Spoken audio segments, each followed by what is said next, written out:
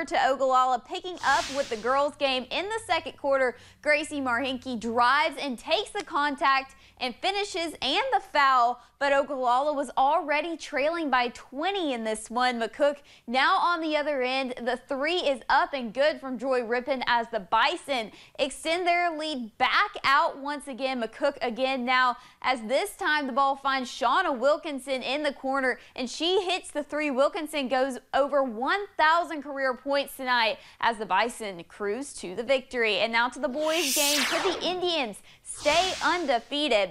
In the first quarter, this one was a shootout early. The three here is up and good from Evan Humphrey.